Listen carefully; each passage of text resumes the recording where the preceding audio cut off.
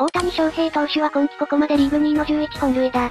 2年連続キングへ順調に歩みを進めている。データサイトはその長打の源はブラストだと説明した。MLB 公式サイトはブラストの定義を説明。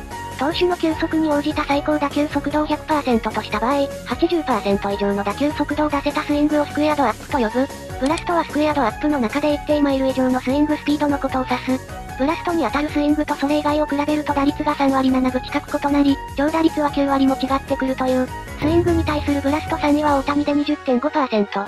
効率的なスイングをしている上に、スイングスピードが速いのだから必然的に長打の確率は高まる。すごいやん。だから大谷は長打が多いのか。確かに打球速度速いもんな。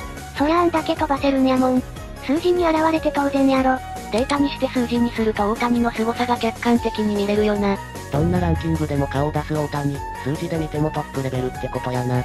それでも大谷の上がいるのか。メジャーの実況も驚く超特大アーチを打つんやもん。それくらいの数字が出ても当然やわ。初めて聞いた表やな。それでも大谷はランキングに乗ってくるからすごいよな。まあ数字は大事やけど、かりバットの芯に当てる技術があってこその結果。大谷のバットコントロールがあってこそ生きてくる表やな。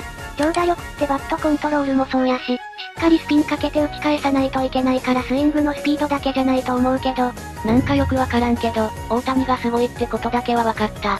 すごい賞を引っ張ってきたな。まあ大谷がすごいことには変わりないけど、ここまで称賛される日本人選手も珍しいよな。もう大谷は日本の大谷じゃなくて世界の大谷になってしまった。とりあえず大谷が褒められて悪い気はしないな。ほんまにいろんな賞を出してくるなそれでもしっかりエントリーする大谷。長打力って打球速度も重要やけど、いい方向に打つ技術も必要だよな。